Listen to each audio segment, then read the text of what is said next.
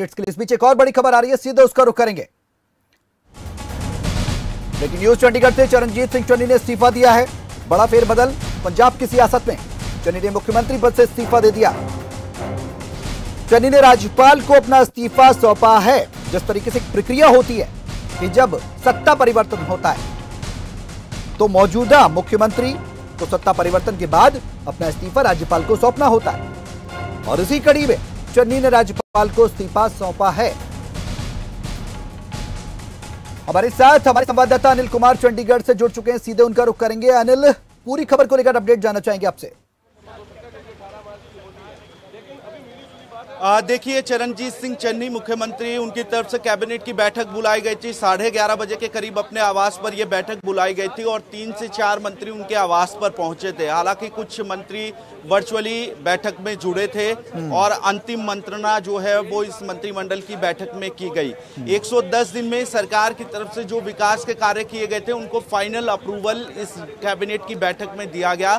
और इस मंत्रिमंडल की बैठक के बाद कैबिनेट की बैठक के बाद चरणजीत सिंह चन्नी जो सुखजिंदर सिंह रंधावा है उनके साथ पहुँचे थे राजभवन और यहाँ पर अपना इस्तीफा उनकी तरफ़ से राज्यपाल को सौंप दिया गया है हम्म। आ, इसके बाद चरणजीत सिंह चन्नी बाहर आए और उनकी तरफ़ से कहा गया कि जो मैंडेट जनता ने दिया उसे हम स्वीकार करते हैं हम्म। साथ ही उनकी तरफ़ से बताया गया कि मंत्रिमंडल की जो आज बैठक हुई थी उसमें 110 दिनों में जो बड़े फैसले सरकार की तरफ़ से लिए गए उनको फाइनल अप्रूवल जो है वो आ, सरकार की तरफ़ से दिया गया है। हम्म। और साथ ही उन्होंने जो नई बनने वाली सरकार है उससे भी एक अपील भी की है उन्होंने। उन्होंने कहा है कि जो भी विकास के कार्य या जो फैसले सरकार की तरफ़ से लिए गए थे हमने उन्हें अप्रूवल दे दिया है और जो नई सरकार बनेगी उन तमाम जो फैसले लिए गए थे सरकार की तरफ़ से उनको आगे बढ़ाते हुए चलेंगे। अनिल तो, आपसे यहाँ पर ये भी जानना चाहेंगे। बातें जो है वो चरणजीत सिंह चन्नी की तरफ़ से की गई। जी अनिल यहाँ पर आपसे ये भी जानना चाहेंगे कि अब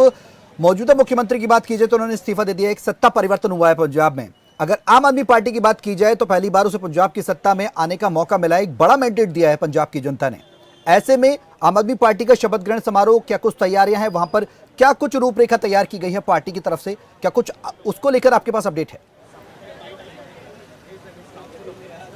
देखिए अभी आ, समय तय नहीं किया गया आज शाम को पाँच साढ़े पाँच बजे मोहाली में हम्म। विधायक दल की बैठक आम आदमी पार्टी की तरफ़ से बुलाई गई है हम्म। और वहाँ क्योंकि विधायक दल की बैठक बुलाई जाती है विधिवत तौर पर सभी विधायकों की तरफ़ से आ, जो नेता को चुना जाता है विधायक दल के नेता को उसको चुना जाएगा वहाँ पर और इसके बाद की जो प्रक्रिया है वो एक जो पंजाब के राज्यपाल हैं उनको पार्टी की तरफ़ से एक आमंत्रण दिया जाएगा सरकार बनाने का दावा जो है वो पेश किया जाएगा राज्यपाल के समक्ष हम्म। दावा पेश किए जाने के बाद जो है वो शपथ ग्रहण होगा उसके बाद देखना होगा कि क्या समय जो है वो राजभवन की तरफ़ से शपथ ग्रहण के लिए दिया जाता है या नई जो बनने वाली सरकार है।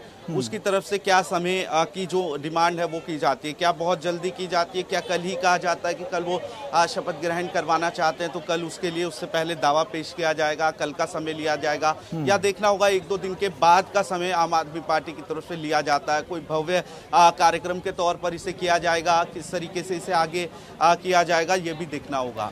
बिल्कुल। अनिल एक सवाल आपसे बेहद अहम पंजाब की राजनीति को लेकर। कांग्रेस भी कहीं ना कहीं एक लंबे समय से अंतरकलह देखी हमने भी देखी, आपने भी देखी और पूरी दुनिया ने भी देखी और भारत ने भी देखी। ऐसे में कांग्रेस की अंतरकलह का कहीं ना कहीं विपक्ष ने फ़ायदा उठा लिया, खासकर आम आदमी पार्टी एक बड़ा मैंडेट लेकर आई। कांग्रेस के किसी वरिष्ठ नेता से आपकी बातचीत हो पाई हो, कमी कहाँ रह गई थी? क्या कोई गलती हो गई थी या फिर उसको सुधारने की ज़रूरत थी कांग्रेस को?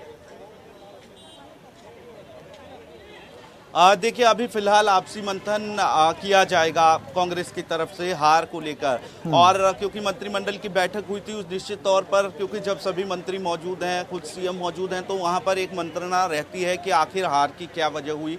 हालाँकि इसको सामने नहीं रखा जाएगा। अभी जिन भी नेताओं से मंत्रियों से बात की गई है उनकी तरफ़ से ये कहा गया है कि जो मैंडेट दिया गया है जनता की तरफ़ से उसे स्वीकार करते हैं। हार के कारणों का मंथन देखना होगा कि किस तरीके से कांग्रेस की तरफ़ से आने वाले समय में किया जाता है क्या जो मौजूदा प्रदेश अध्यक्ष हैं नवजोत सिंह सिद्धू उनकी तरफ़ से हम्म। बैठक बुलाई जाएगी हम्म। नेताओं की और उसमें क्या मंथन जो है वो निकलकर सामने आता है। हालाँकि अभी आत्म मंथन जो है वो कांग्रेस की तरफ़ से बड़े स्तर पर किया जाएगा लेकिन किस तरीके से देखा जाता है पार्टी में इस हार के बाद आ, क्या एकजुट होगी पूरी तरीके से पार्टी? हाईकमान का इसमें आ, किस तरीके से अब हस्तक्षेप रहेगा इसके बाद? क्योंकि अभी तक जो फैसला लिया गया था कांग्रेस हाईकमान की तरफ़ से वो कहीं ना कहीं सही नहीं बैठा और शायद यही कारण रहा कि कांग्रेस से को सत्ता से बाहर होना पड़ा बिल्कुल। जी। बिल्कुल चलिए बहुत बहुत शुक्रिया अनिल और यही वजह थी कि आखिरकार चरणजीत चन्नी और नवजोत सिंह सिद्धू